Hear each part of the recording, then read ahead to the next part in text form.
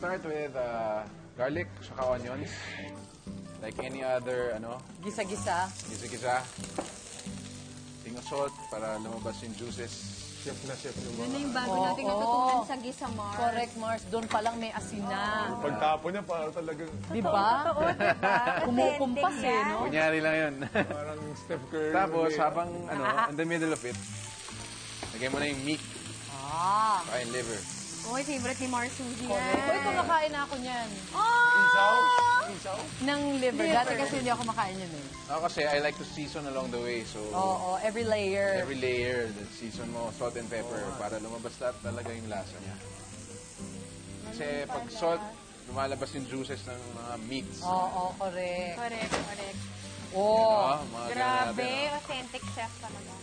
Tapos yun, pag na-feel mo na na medyo Matagal Nag-side na naman. sila. nag-turn na ng kulay, nag-brown na siya ng konti, ang tawag doon, browning. Ah, I like to put in the tomato sauce, right? Kasi pag mas matagal na luluto yung tomato sauce, mas, mas lumalabas yung tamis niya, mas sumasarap. Tsaka manunuot talaga sa ano, meat. Kakapit, no? kakapit. At kayo naman, Encantadia. Yes. No!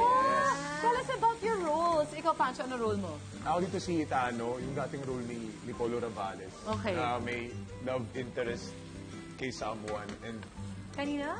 kay, Kay someone. someone. Di ba ito Gusto pwede ko yung sabihin eh. someone. Pero, basta same as, Kay someone. more or less, al- alas pa lang na dati. Love interest and also may power. Gusto rin ng power. Parang sobrang envious lang. Mahigit So sa medyo power. bad and bad love. ka ng very life. Ah, ah, ah. Ikaw naman, Carlo. Yes, I, I play the role of Muros. Ako yung ah, parang kanang kamay ni Akil sa mga kawal ng Lereo. At yung role ko was played by Arthur Solinap before. Okay, at this point, I'd like, ah, gusto ko nang ilagay yung patatas muna. Okay. Kasi matagal maluto yan. Then the Correct. carrots.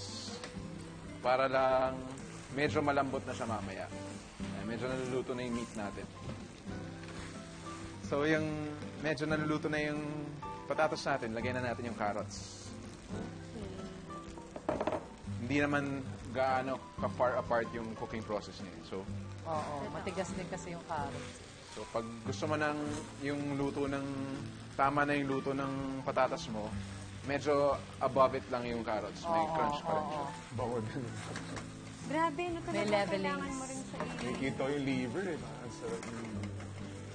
May A little explanation bit of pala. soy sauce. Konti lang. Yun, soy sauce. Para lang may different source tayo ng alat, hindi lang asin.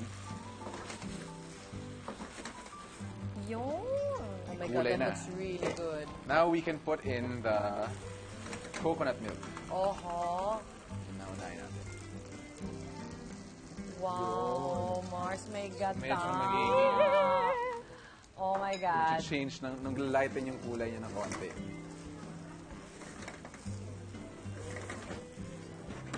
May raisins pa eh. Oo. Oo. Some people don't, I don't like it. Ah. Ikaw hindi ka. Ikaw. Okay ka. We can opt it out if you want. Pero, Okay lang naman Okay kung lang. gusto nyo, tatabi ko na lang. yan. Sabay mo lang siya. Ayan, konti lang lagay natin. Para hindi ma... Hindi puro pasas yung nati- nanalasahan natin. Kasi malakas yung ano Oo, niya eh. malakas yung Malakas flavor yung din flavor niya eh. Yun point, naman. patayin na natin. Sarap.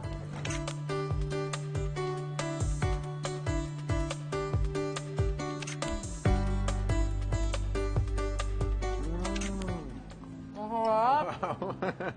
okay ang reaction mo dun, ha? Masarap na. Mm. Oh, Perfect pati yung pagka-season.